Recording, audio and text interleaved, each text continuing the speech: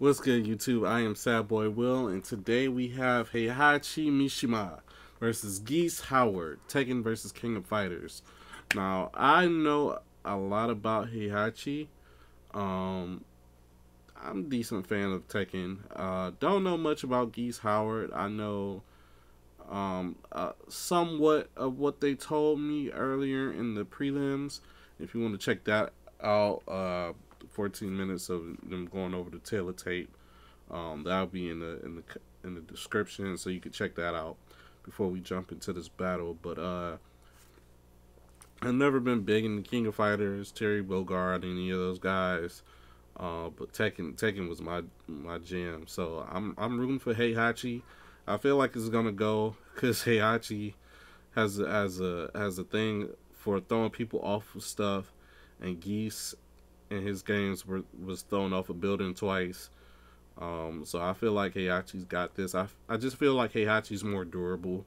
Like Geese obviously has has the more offensive power, but I think Heihachi is, is more built like built defensively. More he could take more hits and deliver like great like even even even heal even even powered you know blows. I don't I don't know what I'm trying to say.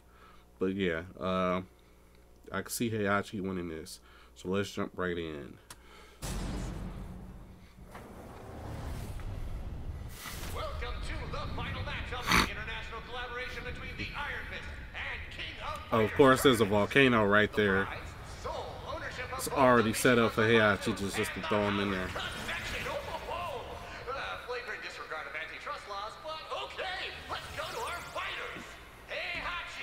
I wanted his Kuma Kuma gonna join in.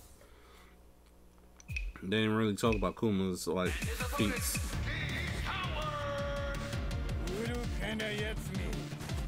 Come to die. What?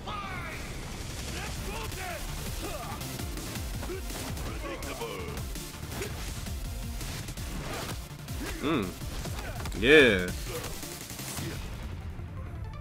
Give him that God fist.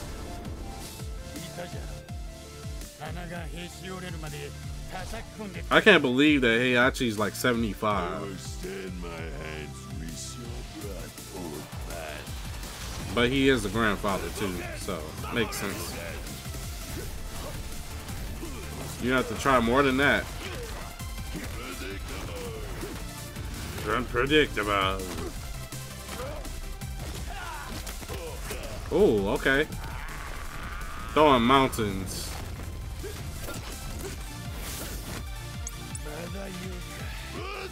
Die forever.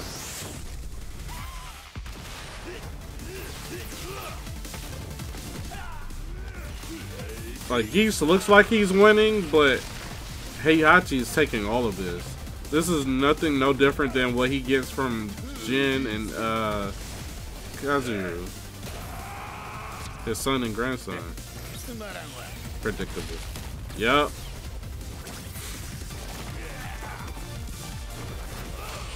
Let's go, Heihachi. Alright. Getting closer to the volcano. Okay.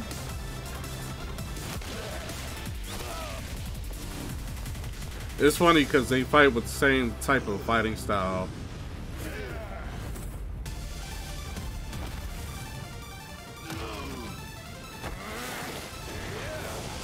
Throw them all.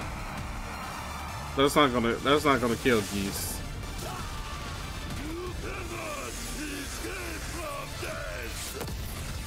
Oh, that boy cheating.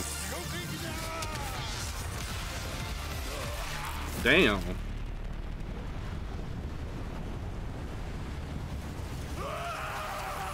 Really? That's it?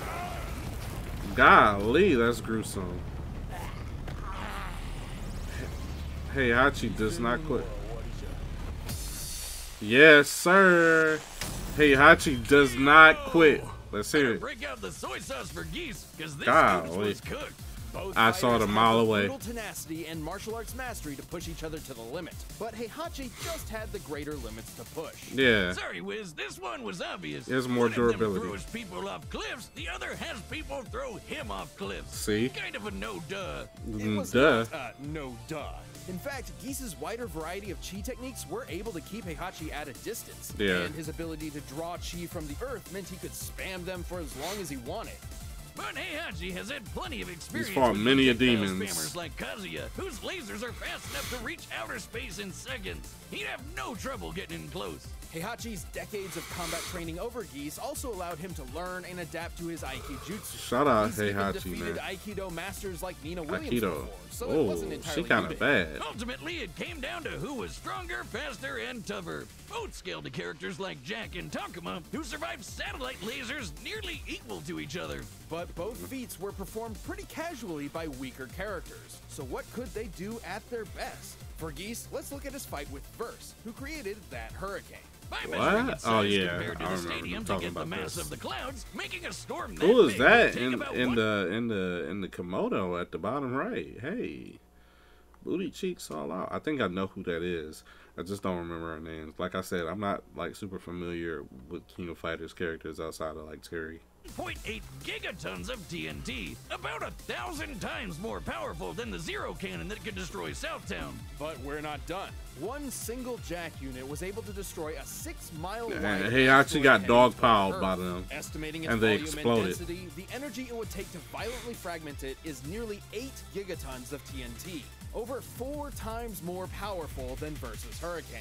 And Heihachi can tear through jacks like nothing, which is crazy because that satellite laser it reacted to was moving at about 4% the speed of light, twice as fast as the zero cannon and Geese's best. Geese was a clever, ruthless opponent, but Heihachi's power, experience, and sheer Yeah, that experience and allowed him to durability walk away put with the Heihachi over the Man, over this the fight was so intense, it almost made me shit my pants. What? The winner is Heihachi Come on, bro. Mishima.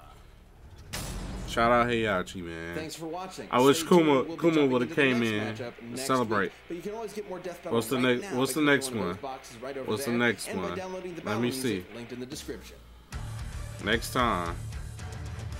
Who is that? Oh, Mikasa versus uh, I want to say her name is Black from uh, what's what's it called?